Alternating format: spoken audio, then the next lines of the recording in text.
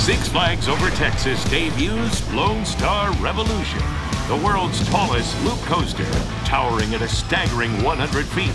Go forward, go backward, go face to face through six inversions and record hang time.